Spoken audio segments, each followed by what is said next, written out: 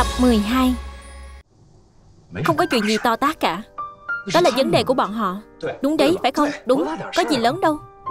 Vậy mà họ lại Đúng không? Vậy chúng ta cũng không cần làm gì. Do anh ta không nhìn xa trông rộng, đúng không? Ai khi mới lập nghiệp Chẳng có lúc gặp phải khó khăn. Khi Jack Ma lập nghiệp Chẳng lẽ không bị người khác xem thường Chứ từng bị người khác từ chối sao? Tất nhiên có Nhưng bây giờ bọn họ đang làm gì? Còn Jack Ma bây giờ đang làm gì? Không nói Jack Ma nữa Nói đến chúng ta đi Hôm nay chúng ta đang làm gì? Sẽ quyết định việc sau này chúng ta sẽ làm gì? Cuộc sống tốt đẹp sau này của chúng ta Nhất định sẽ phải cảm ơn sự cố gắng Nỗ lực của chúng ta ngày hôm nay. Có đúng không? Đúng Nào, làm gì cũng được. Nhưng quan trọng là làm ở đâu? Đúng không? Chúng ta không thể cứ sau khi họp xong Là lại đến nơi như vậy. Mỗi người một ly rượu mấy trăm. Chúng ta vẫn chưa có dự án. Chưa có vốn Được rồi, Nhất Thành tôi hiểu cậu. Là đang nghĩ cho công ty Nghĩ cho chúng tôi, đúng không? Thật ra uống rượu cũng là một cách Để giải tỏa căng thẳng. Nâng cao tinh thần thái độ. Không uống cũng không sao. Tôi chỉ muốn nói Làm bất cứ việc gì Chúng ta phải làm từng bước từng bước Tuần tự mà tiến. Không sai Địa điểm làm việc đúng là rất cấp Nhưng có cấp đến đâu Đều sẽ có Được không？Tin tôi đi Nhất định sẽ có。Vừa hay nói đến đây Nhiệm vụ cấp bách trước mắt Hôm nay sau khi tôi từ nơi đó trở về Phát hiện ra một việc Cũng là một việc rất quan trọng mà bây giờ chúng ta cần làm Quảng cáo Chúng ta phải quảng cáo công ty chúng ta Để cho mọi người phát hiện chúng ta Và sự khác biệt giữa chúng ta và người khác Là ở đâu？Tôi quyết định rồi Phải làm một video quảng cáo Video quảng cáo. Để tuyên truyền dự án góp vốn của chúng ta. Cái này các cậu không có ý kiến chứ? Không ý kiến. Được rồi, vậy ai sẽ làm? Cùng nhau thảo luận chút, thảo luận đi. Tiểu Hạnh. Xin lỗi ai cơ? Dương Tiểu Hành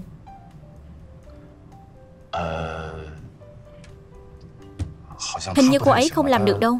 Cô ấy vẽ tranh minh họa Thì sao chứ? Cô ấy có khả năng tưởng tượng Cũng có năng lực đó.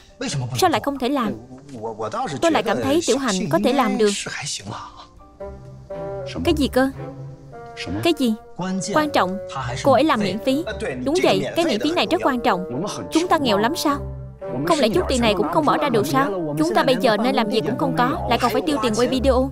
Làm gì ở đâu không quan trọng được chứ? Tôi cho rằng Như vậy đi Hai cậu cũng đừng tranh luận Chúng ta phải thảo luận. Như vậy chúng ta có ba người. Để tôi cho hai cậu một đề xuất. Giơ tay biểu quyết. Giơ tay biểu quyết được không? Hai phiếu. Vậy là qua rồi. Tôi vẫn còn một đề xuất nữa. Nếu sau này chúng ta bắt buộc phải họp Vẫn phải đến nơi này. Vậy khi thanh toán Chúng ta chia đều。Nhất Thành tôi rất hiểu cho cậu。Điều gì muốn tốt cho công ty, cho chúng tôi？Là người anh em cực kỳ tốt。Hơn nữa những điều khi nãy cậu nói tôi đều hiểu rồi Đã để vào tim hiểu hết Bao gồm cả những gì cậu nói tôi đều hiểu。Như vậy đi。Địa điểm làm việc của công ty tôi đã tìm xong Khách sạn cao cấp 5 sao Thiên Lang Tôi sẽ bao một tháng tiền phòng Tiền cũng trả xong rồi。Tôi thấy còn tốt hơn tuyển dụng đầu tư ở đây。Phải phải, khách sạn 5 sao vẫn tốt hơn。Vậy cậu đồng ý rồi nhé。Tôi đồng ý Xem như có hai phiếu thông qua Không ý kiến gì chứ。Vấn đề tiếp theo Để Dương Tiểu Hành làm video quảng cáo tôi không đồng ý。Vì vậy tôi sẽ tự tìm người đến quay Mọi người đang nói gì tôi đó。Em à, cái đó。Anh ấy đang nói đến việc xây nhà。Với ai? Với em Chắc chắn rồi。Anh nói gì em đó Đâu có gì đâu. Thật sự không có gì. Bọn anh vẫn còn nhiều việc chưa xem xét. Vẫn chưa thảo luận xong. Sau đó đến chiều bọn anh còn có việc. Việc gì? Đó là bọn anh phải đi xem. Một loạt các công ty thương mại điện tử. Bọn họ làm rất tốt. Rất nỗ lực, cố gắng. Anh quyết định sẽ mua lại họ. Không ý kiến gì chứ? Vậy cứ quyết định thế nhé. Đợi chút. Tôi còn chuyện muốn nói Một chuyện rất nghiêm túc. Tôi thấy nếu ba người chúng ta lập ra công ty Lập nghiệp Chúng ta cần có người quản lý tài chính. Chính là công khai quá tài chính. Thành lập công ty này Học kỳ có cổ phần nhiều nhất Hiểu Đông cũng đầu tư 10 dạng. Chỉ tôi không có một xu. Nên sau này khi công ty thành lập Cổ phần tôi có thể không cần Nhưng số tiền hiện tại đầu tư vào. Chúng ta cần phải đặt lên đây Ba người chúng ta cần quyết định xem chi tiêu thế nào, Không thể để một người giữ hết. Không sai, Cậu nói thật sự rất có lý. Nói đúng lắm. Là như vậy, Số tiền này đến thời điểm hiện tại Đều do tôi bỏ ra. Hai chị, Giờ ngay cả tiền lương cũng không có. Cảm ơn. Chế độ tài chủ nhất định sẽ được thiết lập, Bởi vì chúng ta là những người chuyên nghiệp. Chắc chắn sẽ có kế toán viên, Nhưng không phải bây giờ. Sẽ nhanh có. Hy vọng các cậu hiểu. Cảm ơn. Các anh sẽ không đánh nhau đó chứ.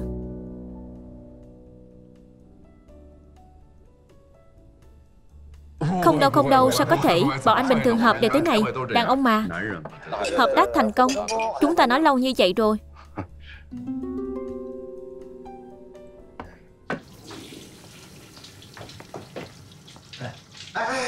Nhất Thành Đợi chút. Nào nào Chúng ta nói chuyện chút đi được không? Cậu nói đi. Sau khi tiếp xúc với cậu vài ngày Tôi cảm thấy Cậu làm việc rất nghiêm túc. Năng lực công việc rất mạnh. Có một nói một Đây là điểm tôi rất nể phục cậu. Nhưng mà Giờ chúng ta làm việc với học kỳ. Nghĩa là học kỳ có cách kiếm tiền. Cậu ấy gọi chúng ta theo Đúng không? Cậu ấy để chúng ta làm cùng. Nghĩa là có ơn với chúng ta. Cái đó Sau này khi nói chuyện Chúng ta có thể nào Đừng nóng như vậy. Thái độ cần vui vẻ chút. Thái độ khi nãy của tôi thật sự không tốt sao? Thật ra cũng không thể nói là không tốt. Đó là lúc mà cậu nói chuyện Biểu cảm của cậu rất nghiêm trọng Khiến chúng tôi nhìn xong cảm thấy Một thái độ cực kỳ, cực kỳ cương quyết Kiểu vậy đó。Con người tôi nói chuyện thẳng thắn Tôi chỉ nhìn việc không nhìn người Đối công không đối tư Tôi là cảm thấy nếu đã là công việc Chúng ta phải nghiêm túc một chút. Sau đó có việc gì nên nói thẳng ra. Trước tiểu nhân sau quân tử đừng để trong lòng. Tôi hiểu rất hiểu cậu. Cậu chính là kiểu người có sao nói vậy Đúng không? Đây là nam tử Hán Là người bạn thật sự. Muốn nói gì thì nói đó. Nhưng mà Dù sao nói chuyện vẫn phải nói đến cách thức Phải không? Chính là ý đó. Được tôi hiểu. Tôi tiếp thu kiến thức Nếu sau này vẫn vậy。Tôi có chỗ nào không tốt Cậu cứ nói thẳng Tôi có thể tiếp thu Được không vấn đề Tôi chỉ nói vậy thôi. Chúng ta cũng là anh em. Nhưng sau này khi đi vệ sinh xong Thì anh vẫn phải rửa tay nhé. Cái này là thật đó. Tôi biết rồi. Tôi đi rửa tay đây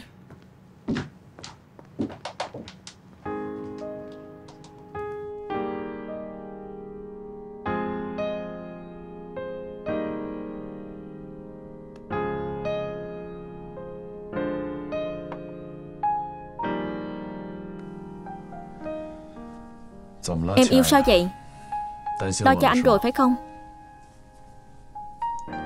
Vừa nãy trước khi em đến các anh nói gì vậy? Không có gì.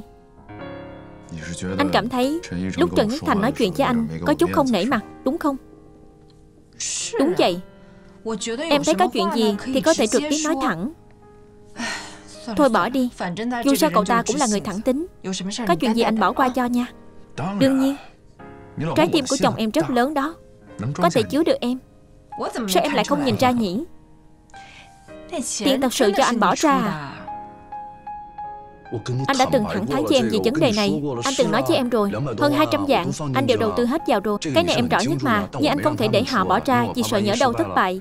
Chẳng phải họ cũng phải tổn thất sao? Không nói với em cái này. Không phải Nếu như tiền của công ty cho anh bỏ ra Vậy thì anh chính là sếp. Nói một là một hai là hai Sao anh lại yếu đuối vậy chứ? Phải đó Ai yếu đuối cơ? Anh sao lại yếu đuối? Trần Nhất Thành nói anh như vậy rồi. Cậu ta nói Là vì cậu ta tự ti Cậu ta chột dạ Nên mới chạy được chứ. Anh không Em yên tâm Anh sẽ khiến cậu ta tôn trọng anh hơn. Đừng nói cái này nữa. Nói vấn đề liên quan đến em đi. Liên quan đến em. Chuyện gì?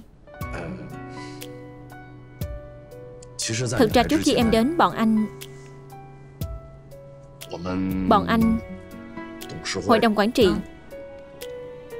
đã đưa ra một quyết định giơ tay biểu quyết。họ hy vọng em sẽ vì công ty bọn anh là một video tuyên truyền để quy động vốn chính là quảng cáo em á? phải. Chẳng trách bọn anh vừa nói em. vậy thì tốt quá em đồng ý anh không muốn. Anh cảm thấy em không phù hợp. Sao lại không phù hợp? Em rất phù hợp. Trước hết em mới vừa làm cho công ty Một cái poster đúng chứ? Đúng. Giờ em cũng rất rảnh rỗi Chuyện này nhất định phải để em làm. Cứ quyết định vậy đi. Nhưng chúng ta đừng nghĩ đơn giản như vậy được không? Là như vậy. Phí tạo hình Phí trang phục Còn có phí kịch bản Còn cả chi phí trước khi sản xuất có thể anh sẽ phải ghi nợ trước. Nhưng em yên tâm Tất cả việc sản xuất phim hoạt hình sau này Bao gồm mọi chi phí em phải trả cho công ty hoạt hình Anh sẽ không thiếu một đồng. Anh tuyệt đối không nợ em. Công là công, tư là tư. Anh sẽ không để em ghi nợ. Không không, em có thể đầu tư. Cái gì chỉ là quay video quảng cáo thôi mà đòi đầu tư? Sao em lại không thể đầu tư? Tổng cộng chỉ có ba người các anh Sao em không thể? Dọa anh đấy à?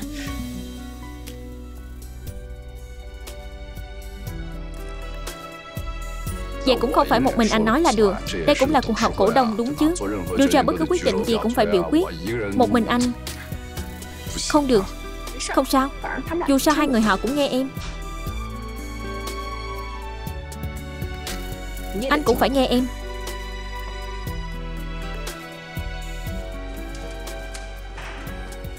Đồ ăn nhanh đến rồi đây. Đô đô Cuối cùng đồ ăn cũng tới rồi. Đói chết. Mau ăn đi, mau ăn đi. Nào Đô Đô. Chị Tiểu Hạnh Việc cấp vốn của anh Đinh thế nào rồi? Rất tốt. Cấp được rất nhiều. Thật sao? Một nghìn năm. Một nghìn năm trăm vạn. Sắp phát tài rồi. Là một nghìn năm trăm tệ. Cô ơi con rút xong rồi. Rút xong rồi. Nhanh ăn cơm đi. Hiện thực thiệt là nghiệt ngã mà. Chúng ta hãy trích dẫn câu nói trong một bộ tiểu thuyết. Nếu như em không thích thời tiết ở Montana, Vậy thì qua 5 phút sau hãy nói nhé.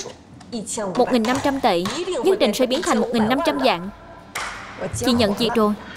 Phim hoạt hình gấp vốn của công ty họ sẽ do chị làm. Vậy em cũng phải tham gia. Được thôi. Ăn cơm đi. Nào Đô Đô Ăn cơm đu Đô nào nào, ăn cái này. Bốc cho con bé một cái. Đổ cũng không sao. Lát nữa chúng ta làm tiếp. Ăn cơm ăn cơm.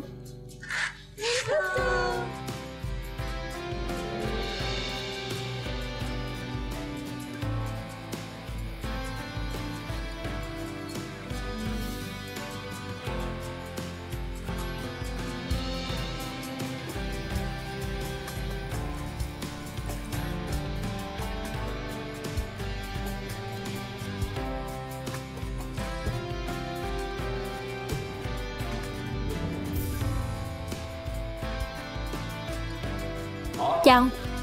Chào.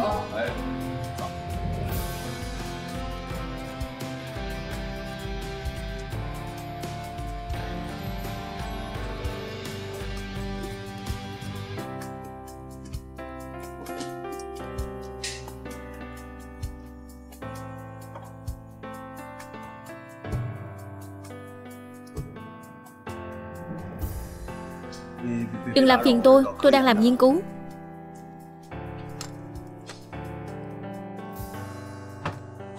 Dừng, dừng. Dừng chút đã. Dừng. Nào qua đây đi. Sao vậy? Có thể giải thích cho tôi Những thứ này là gì không? Thiết bị đó Ở đâu ra? Các cậu đặt mua à? Từ phòng làm việc của Tiểu Hạnh Cô ấy bảo chúng tôi đem về. Đồ thì văn phòng Tiểu Hạnh Sao lại xuất hiện ở phòng làm việc của chúng ta?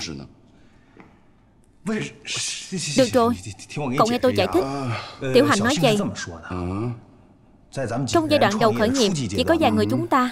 Cái đó Thể diện không quan trọng。Vậy cái gì quan trọng đây？Điều quan trọng là phải biết sống một cách chi ly Đây cũng là điều chính miệng Tiểu Hành đã nói Hơn nữa tôi thấy Tiểu Hành nói đúng。Nói đúng。Đúng vậy có thể đúng。Có thể đúng。Tôi vẫn chưa nói hết。Hai người các cậu có thể bàn bạc với tôi trước không？Tôi cũng là cổ đông mà。Học kỳ cậu phải phân quyền。Chuyện này mà hai chúng tôi cũng không làm chủ được à？Phải đó đúng thật là。Có thể đương nhiên có thể。Nhưng Còn nữa cậu biết không? Cậu bỏ ra nhiều tiền vậy để mua lại công ty thương mại điện tử nhỏ. Những đứa nhóc đó thật sự rất được. Những sản phẩm gửi đi không đạt. Liền đi xe đường dài hơn mười mấy tiếng để lấy lại hàng. Còn đứng trước mặt người bán vừa xin lỗi vừa hát vừa mua qua. Có mấy đứa nhóc này làm cùng công ty chúng ta nhất định không vấn đề. thế nên cậu lắp cho người ta những thiết bị tốt nhất cũng là việc nên làm. Và chúng ta đủ rồi. Đủ dùng là được. Đúng. Nói như vậy là cậu không nghi ngờ. mắt nhìn người của tôi nữa đúng không Bây giờ cậu sẽ không nghi ngờ. Mắt nhìn người của tôi nữa, đúng không? Không có những đứa trẻ làm việc chăm chỉ nơi tiền tuyến. Thì cậu nói xem chúng ta khởi nghiệp thế nào. Do tôi nông cạn quá. Hiểu Đông, Hôm nay tôi ở trước mặt Hiểu Đông. Xin lỗi cậu, Đinh Tổng. Trước đây thái độ tôi có vấn đề. Tôi chính thức xin lỗi. Tôi hẹp hòi. Cậu ta nói chuyện bốc đồng với tôi. Không sao đâu. Tôi hẹp hòi. Cậu nói chuyện bốc đồng với tôi Tôi có thể nghe hiểu. Tất cả những thứ tiêu cực khác tôi sẽ xóa hết. Nhưng, Cậu mà nói chuyện bốc đồng như vậy với khách hàng, Cậu nói xem khách hàng, Họ có để ý không? Cậu là một nhân tài. Nhân tài. Đinh Tổng, Tôi sẽ chấp nhận hết. Chấp nhận hết.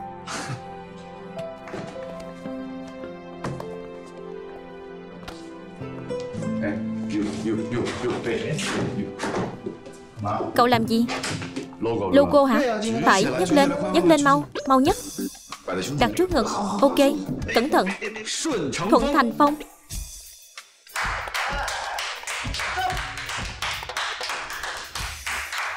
Rồi sao? Rất tốt. Nào, Đến treo ở cửa. Tôi đi phải không? Đừng than nữa. Cái này cần phải long trọng chút. Mình cậu là đủ rồi. Tên do cậu đặt, Sao trong đây lại không có tôi? Đúng không? Treo ngay ngắn vào.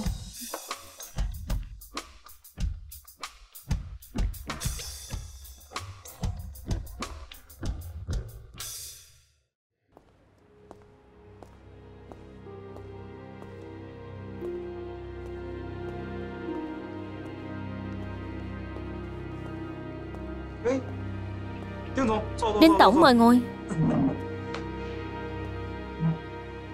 Đến một mình sao? Hôm nay tôi đến một mình. Được đó, Đinh Tổng. Làm việc tại khách sạn năm sao? Có khí phách Tôi thiếu tiền anh.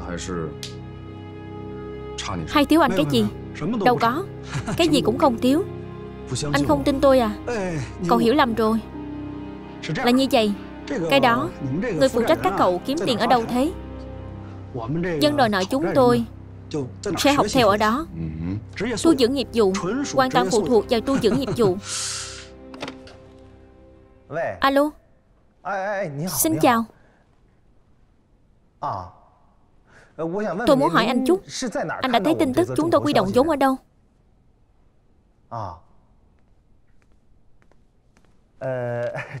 Sợ là tôi phải giải thích với anh một chút. Chúng tôi đây là đang quy động vốn Chứ không phải tích vốn. Vậy nên chúng tôi không thể cho anh cái đó. Học kỳ, trả tiền qua hồng lớn vậy. Thế nên cái đó là phạm pháp. Đúng đúng. Cái đó. Đúng. Nhưng công ty chúng tôi tập hợp Một lượng lớn người yêu thích lập nghiệp. Đặc biệt là thương mại điện tử. Nếu sau này anh muốn mua hoặc bán hàng Thì anh có thể tìm đến sàn thương mại điện tử chúng tôi. Chúng tôi luôn sẵn sàng phục vụ miễn phí Đúng đúng đúng. Được rồi. Có điều lần trước tôi nghe nói cậu làm quy động vốn gì đó. Hình như cũng không có gì. Nhưng anh yên tâm, tôi không có ý gì khác. Tôi biết gia đình anh giàu có cỡ nào. Hình như anh có chút sắp trở mặt rồi, Phải không? Dù sao tháng nào tôi cũng đã trả hết nợ cho anh rồi. Vậy mà anh cứ lượn qua lượn lại trước mặt tôi. Là có ý gì? Như vậy vui lắm sao? Anh đừng hiểu lầm. Tôi với anh không cùng tầng lớp. Tôi chỉ là người đòi nợ. Định vị này rất chuẩn. Có điều Đinh Tổng. Chúng ta nói rõ ràng đi. Anh xem tôi cũng chỉ là người chạy việc giặt Anh cũng rõ. Sau tôi còn có sếp? Còn có người nhà Phải không? Anh cũng không thể để tôi khó xử được. Tôi tin anh. Nhưng cái này Chỉ còn vài ngày nữa Anh xem chút tiền này. Đến lúc tôi đến Anh có tin tôi không Tin chứ? Nếu đã tin tôi Anh xem tôi nên trả lời anh thế nào? Cáo từ.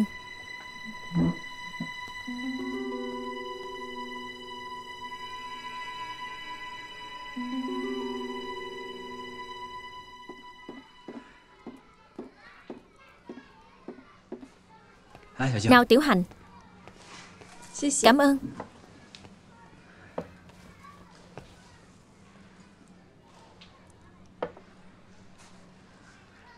Tiểu Hành Cô nói thật với tôi đi。Học kỳ rốt cuộc là có tin được không？Sao anh lại hỏi vậy？Anh ấy là người đáng tin cậy。Nghi ai thì nghi đừng nghi anh ấy。Đương nhiên tôi biết cậu ấy đáng tin cậy。Nhưng gần đây tiền công ty không đủ。Có phải quan hệ giữa cậu ấy với gia đình không tốt？Học Kỳ từng nói Mọi việc đều phải dựa vào bản thân。Anh ấy sẽ không dùng một đồng tiền nào của bố mẹ。Tôi hiểu nhưng với tư cách là anh em Tôi không hy vọng cậu ấy gắn gượng Anh không cần phải quá gánh nặng về tinh thần. Vì anh ấy đã đồng ý giúp anh nhất định sẽ hoàn thành. Phải tin tưởng anh ấy.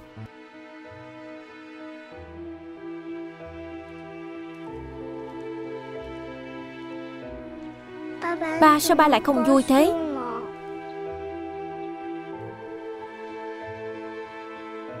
Không phải ba không vui? Chỉ là ba Không muốn chỉ vì người khác giúp ba Mà liên lụy đến họ. Khiến người đó trở thành ba bây giờ Đô Đô còn có hiểu không? Vậy tại sao Đô Đô lại không vui? Chơi cùng với cô Tiểu Hạnh và cô Đình Đình không vui sao? Và chơi rất vui. Còn nhớ cô Đình Đình. Vậy tại sao Đô Đô lại không vui? Có không vui? Mẹ khi nào mới về à?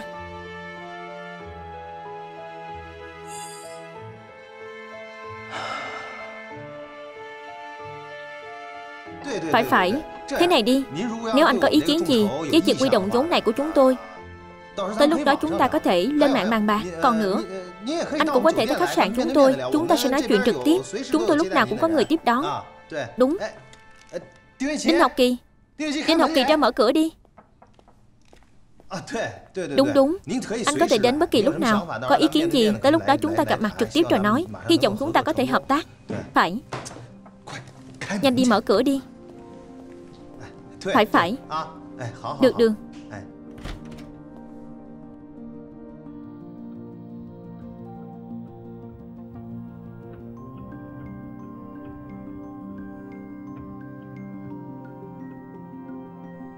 Ba.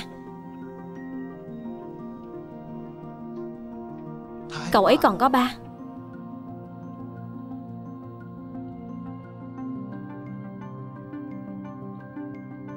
Lần trước sinh nhật con, Ba và mẹ đến thăm con. Do có việc nên con không đi được Chuyện đó thật sự cũng rất cần có con, Cho nên Con xin lỗi. Con lại làm gì vậy? Mà lại mượn thêm hơn 80 dạng của người ta, Khiến chủ nợ đến tận cửa nhà làm loạn.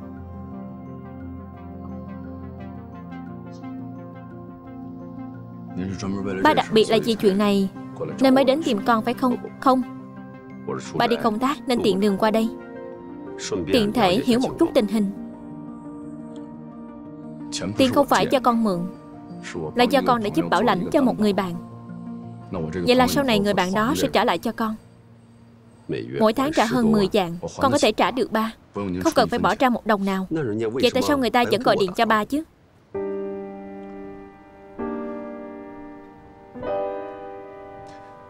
Chẳng phải cho con làm người bảo lãnh sao? Thế nên, Chủ nợ cho rằng Con không có khả năng trả nợ, Hoặc nói con không có khả năng để bảo lãnh. Nên điều tra về gia cảnh của con Và điều tra ra quan hệ này giữa con và ba, Bọn họ có lẽ cũng yên tâm rồi. Con xin lỗi ba Chuyện này làm ảnh hưởng đến ba. Xin lỗi. Con xin lỗi. Con nghĩ rằng ba sẽ trả thay con sao? Ba đừng như vậy. Nếu ba trả thay con, Thì đối với con mà nói là một sự sỉ nhục. Con không có ý khác. Con chỉ cảm thấy con Con trả kiểu gì? Dựa vào cái số tiền ít ỏi của con hiện tại, Thuê một căn phòng ở khách sạn, Với bàn tay trắng. Con chẳng phải là thừa kế tính cách của ba sao? Con đùa gì vậy? Sao à? Ba như một bàn tay trắng. Còn con thì sao? Suốt ngày tiêu tiền, Suốt ngày mơ mộng hảo quyền Chỉ muốn mau chóng thành công. Tất cả đều là hư ảo không hiện thực con à. Còn đối với tổ quốc không có tác dụng gì. Vậy con cũng không hiểu rằng Ba có thể từ một người tay trắng từng chút một Có được ngày hôm nay sao con lại không thể Từ một căn phòng ở khách sạn Từ một bàn tay trắng mà có tất cả. Con chả phải thừa kế tính cách đó của ba sao? Không biết nói gì hơn. Còn có thể nói gì nữa?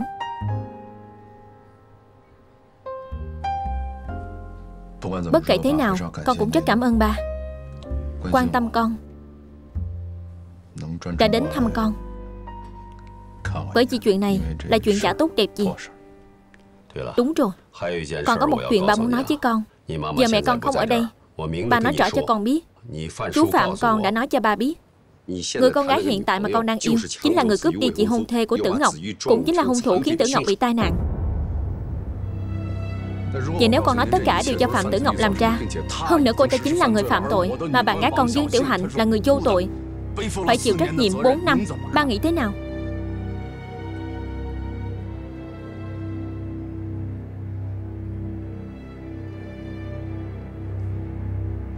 Ba và chú Phạm là anh em tốt.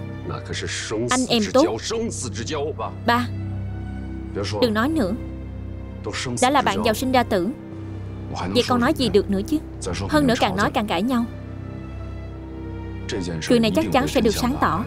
Chờ mọi chuyện được sáng tỏ Là chúng ta đều biết rồi đúng không ba? Cho chúng ta ở đây cãi giả cũng không tác dụng gì. Con nói những điều này Có chứng cứ gì không? Vậy con hỏi ba một câu Ba trả lời con trước được không? Con là con trai ba. Còn người kia là bạn tốt của ba. Trước con của ba và bạn tốt của ba Ba lựa chọn tin tưởng ai? Con nghĩ rằng những việc này nó đều có nguyên nhân của nó. Vì vậy cứ mỗi lần để ba lựa chọn Con và người khác Ba đều lựa chọn tin người khác Con không xứng để ba tin sao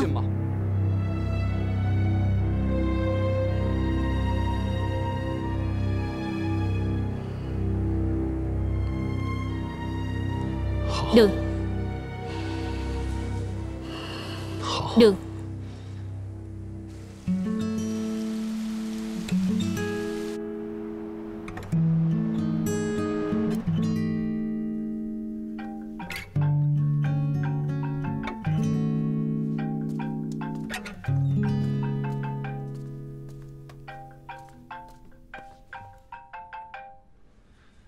Alo xin chào. Ai vậy? Alo xin chào. Tôi là Bạch Chỉ Trung. Bạch Chỉ Trung. Tôi không quen anh. Anh sẽ quen tôi thôi. Tôi nghe nói anh thành lập một công ty quy động vốn từ cộng đồng. Tôi muốn bàn với anh về chuyện hợp tác. Có được không? Được. Vậy thì Ngày mai tôi sẽ thông báo cho anh được không? Được. Tạm biệt. Bạch Dĩ Trung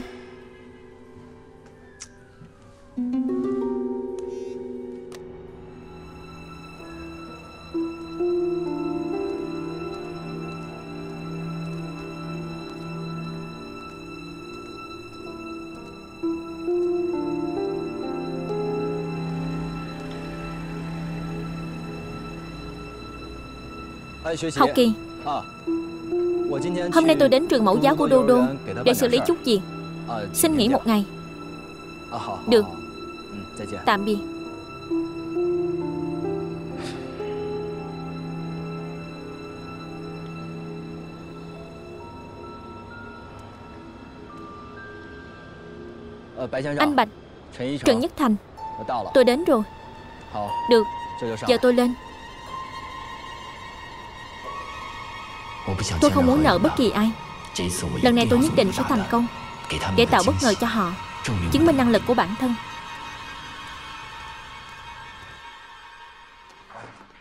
Tiểu Hành Tôi chắc chắn là ba của Đinh Học Kỳ. Anh chắc chắn Tất nhiên chắc chắn Bởi vì tôi nghe rất rõ anh ta gọi người đó là ba. Sau đó thì sao? Sau đó hai người họ tranh luận ở sảnh. Sau đó Ba anh ta liền rời khỏi Về việc này anh đừng nói với Học Kỳ. Chắc chắn hai người họ đã xảy ra chuyện gì đó. Không sao Tôi tin anh ấy. Được Về trường này cô cũng đừng nói anh ấy Là tôi nói với cô. Chị Hạnh Chị xem đô đô trên người bị đốt bao nhiêu là nốt Còn nói xem Trần Nhất Thành làm ba kiểu gì vậy. Thật là thiếu trách nhiệm. Đô đô Mới về nhà có mấy hôm Không phải là ba cắn con là mũi cắn Là mũi cắn con. Để cô xem. Cô Hạnh biết là do mũi cắn con Có ngứa không? Có đau không? Lát cô Hạnh bôi thuốc cho nhé. Vậy con ra ngoài chơi một lát nhé.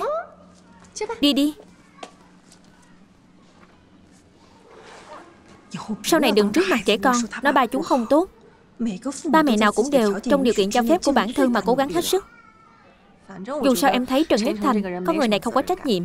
Bao lần rồi Đô Đô là con anh ta, Đúng là rất đáng thương. Đáng thương thì em ở bên cạnh con bé nhiều hơn đi. Trẻ con chỉ cần vui vẻ là được rồi. Đinh Đinh, Tôi nghĩ nên nói với cô một câu. Tiểu Hành nói đúng. Sao lại trước mặt trẻ con, Nói bà chúng không tốt? Dương Hiểu Đông. Hả? Anh đừng nghĩ rằng anh là cổ đông là có thể dạy dỗ tôi. Không phải. Tôi là cổ đông đúng vậy. Tôi không có ý dạy dỗ cô. Anh Anh và tôi đều bình đẳng. Được rồi. Anh đi làm việc đi. Được bà cố. Tôi chọc không nổi cô thì tránh cô ra. Tôi đi đây. Làm gì thế? Uống nhầm thuốc rồi hả? Trẻ con đều ở đây kìa. Đẹp không? Cái này. Cũng không đẹp Xem lại xem. Xem cái nào đẹp Chị đẹp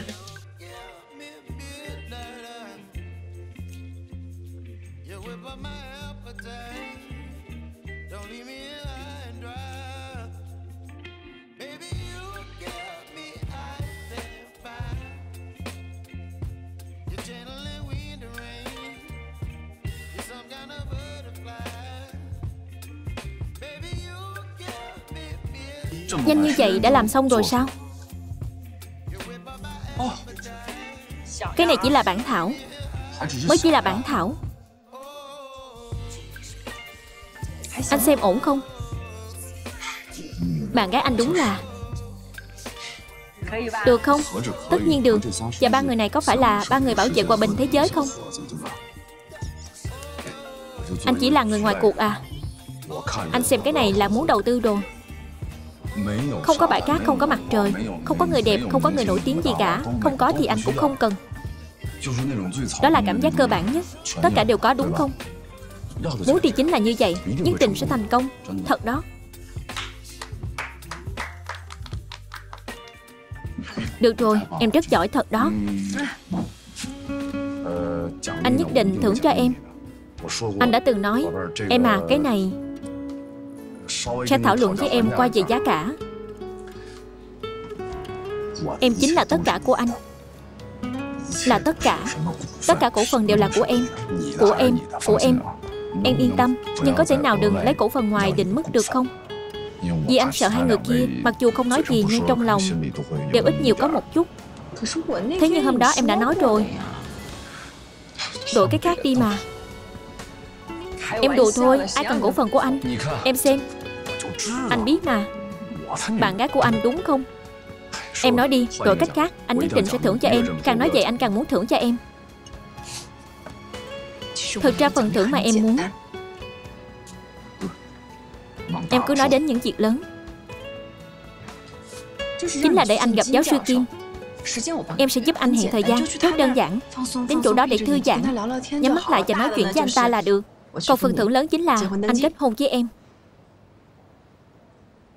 hay là chúng ta đi thẳng tới chuyện lớn luôn. Chúng ta kết hôn trước. Còn vấn đề gặp hay không gặp giáo sư Kim Anh cảm thấy đã là bạn của chúng ta rồi Anh lúc nào cũng có thể gọi điện thoại. Hẹn anh ấy bữa cơm đúng không? Xem xin điều được. Không được phải gặp giáo sư Kim trước. Sau đó mới đăng ký kết hôn. Tại sao? Giữa chúng ta nhất định phải chứng minh quan hệ. Có một điều anh không hiểu em à. Anh muốn hỏi chút. Tại sao Lâm Nhất Binh đi rồi Anh lại nhất định phải đi chứ Em cảm thấy nếu anh không gặp giáo sư Kim Thì thấy anh không được đúng không? Hay là thế này? Không không. Không phải anh không tốt Mà em chỉ muốn anh tốt hơn thôi. Trong lòng của anh có đá ngầm? Cái gì? Đá ngầm? Đá ngầm là gì? Anh tự nghĩ đi. Là vật dưới biển đúng không? Không phải. Mau nói anh có đi không? Em chính là cảm thấy anh có bệnh. Em nhìn thế nào cũng thấy anh có bệnh, có vấn đề Vì anh thấy vấn đề chính là ở em Em cần phải thay đổi. Không phải anh có vấn đề mà em muốn anh trở nên tốt hơn Giải thoát hết những chuyện trong lòng. Nói ra hết có thể thoải mái. Anh rất tốt, rất tốt. Anh rất tốt, em xem. Vậy anh đi hay em đi? Anh có thể không đi không? Vậy thì anh không đi Vậy được thôi, anh tự nghĩ đi Anh làm việc của anh đi. Em đi đây Đi rồi à Sao lại ngang ngược như vậy chứ? Đừng gọi nữa người ta đã đi rồi. Đúng rồi lên lầu với tôi. Tôi không đi. Đi nào lên đây Tôi có bệnh không? Anh mà không đi thì anh có bệnh thật đó. Nói lại lần nữa Có người đầu tư. Sao? Anh có đi không? Đầu tư. Đúng vậy. Không nói sớm đồ thần kinh. Sao hôm nay anh mặc ít đồ vậy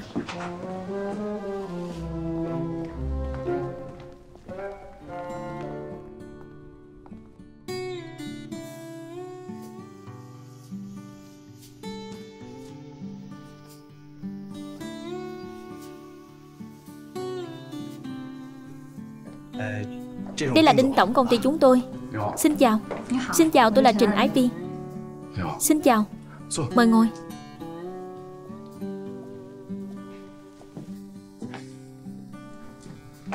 Tôi muốn đầu tư. Được, chúng tôi rất chào đón. Vì vậy Hiểu Đông có trả lời rõ cho cô chưa Tôi đã nói rõ rồi. Thế nhưng, Hình như chị vẫn chưa rõ. Vì cô ấy đã nhầm lẫn giữa đầu tư và cấp vốn. Cô ấy muốn đầu tư bên công ty chúng ta, Muốn được đầu tư cho công ty chúng ta. Cái này có khác biệt gì sao? Không lẽ các người không tìm được cổ đông lớn nào đầu tư sao? Chúng tôi thật sự rất hy vọng có người đến đầu tư. Nhưng có một vấn đề hiện thực ở đây đó chính là Cổ phần và quyền sở hữu cổ phiếu của ba người chúng tôi Là cố định nên không nhượng cho ai cả。Có một hình thức mới Có thể giải quyết đó chính là đầu tư cộng đồng。Vì vậy chúng tôi rất muốn Thử cái hình thức mới này。Vì vậy hiện tại đối với những nhà đầu tư lớn Không có hứng thú lớn như vậy nữa。Không biết Cô có hiểu không Tôi tin rằng chỉ dựa vào cấp vốn sẽ có thể giúp công ty đi lên. Đây không phải là đầu tư mở một quán cà phê Một bộ phim. Được. Sau này tôi sẽ thường xuyên đến. Chúng ta cùng nhau bàn bạc hiểu sâu một chút. Không chừng Tôi lại không muốn đầu tư nữa Hoặc là Các anh sẽ thay đổi ý định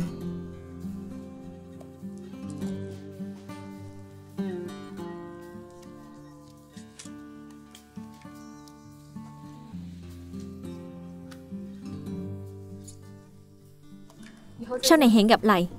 Tạm biệt. Không tiện nhé. Làm gì vậy? Đi xa chưa? Hình như là đi xa rồi. Sao thế? Chuyện gì vậy? Cậu nói xem chuyện gì thế? Chuyện bắt đầu từ đâu? Anh vội vàng đưa tôi lên đây. Rồi đầu đuôi là thế nào? Chuyện như nào tôi cũng không rõ nhưng mà tôi cảm thấy Nghe cuộc đối thoại giữa hai người Cô ta không phải là xông đến để đầu tư Cô ta dường như Vì người mà đến。Xin lỗi cậu。Cậu。Cậu đến số đầu qua rồi。Cái gì mà số đầu qua của tôi？Vậy thì làm sao có thể là của tôi Tôi là hoa đã có chủ, Nên không thể nào là tôi. Đúng rồi, cậu cũng có chủ, Cũng không phải là cậu. Anh lại nữa rồi. Tôi cũng muốn phản. Phản phản cái gì? Anh vội hơn ai chứ? Có thể vào thẳng vấn đề không? Đây có phải vấn đề chính không? Là chuyện chính. Ai là người bàn bạc trước. Tôi bàn bạc về những vấn đề chính, Sau đó thì sao? Sau đó tôi cảm thấy cô ấy Cô ấy vì người nào đó mà đến.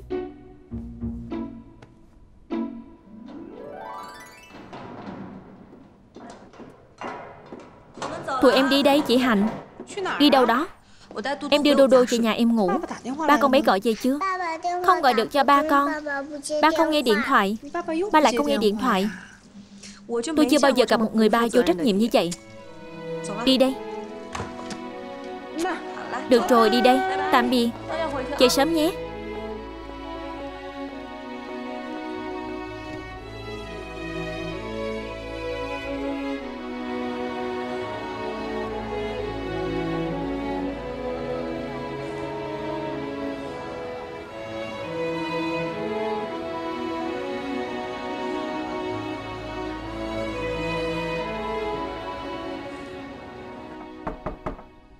Ai đó.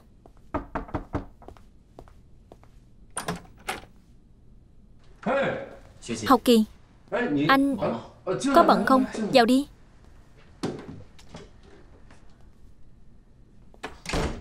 Lần đầu đến, Nào ngồi đi. Ngồi. Ngồi đây là được rồi. Ok, ngồi đây. Uống cốc nước. Đừng làm vậy, không sao. Nào cầm lấy. Ngồi đi. Cậu tìm tôi là để Học kỳ Tôi đến là để trả tiền.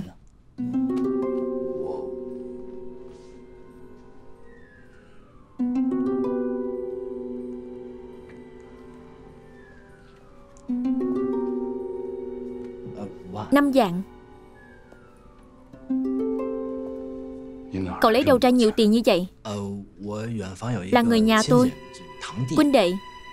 Gần đây làm ăn tốt sau đó, tôi đến tìm huynh đệ vay tiền. Không ngờ rằng họ đồng ý. Vì vậy hôm nay tôi đến trả anh tiền. Xin lỗi nãy cậu nói. Huynh đệ cậu. Đúng vậy. Đột nhiên đưa tiền cho anh vay tiền. Là như vậy học kỳ. Anh biết tôi là một người luôn tự trọng cao. Sẽ không dễ gì mà đi nhờ người khác giúp đỡ. Lần này mặc giày để đi tìm họ. Không ngờ rằng họ đồng ý. Vì vậy tôi mới nói với anh rằng, Hiểu rồi. Vậy cậu trả cho anh ta kiểu gì? Tôi trả góp dần dần. Tôi biết rồi, Chính là cậu Cậu Chuẩn bị rời bỏ đội của chúng tôi, Sau đó sang đội họ làm, Không phải? Học kỳ anh đừng hiểu lầm, Ba người chúng ta vẫn là cùng nhau xây dựng công ty, Sau đó số tiền mỗi tháng ở công ty, Tôi sẽ trả cho anh ta. Tôi hiểu rồi, Đúng rồi vẫn còn. Học kỳ. Năm dạng tiền mặt này là lần trước anh giúp tôi. Sau đó số tiền còn thừa. Đều ở trong thẻ này. Không thiếu một đồng. Đến lúc đó anh có thể kiểm tra. Cái người huynh đệ này của cậu Đột nhiên đem tất cả số tiền. Vì sự nhờ giúp của cậu lần này, liền đem hết số tiền để giúp cậu đúng không? Đúng vậy.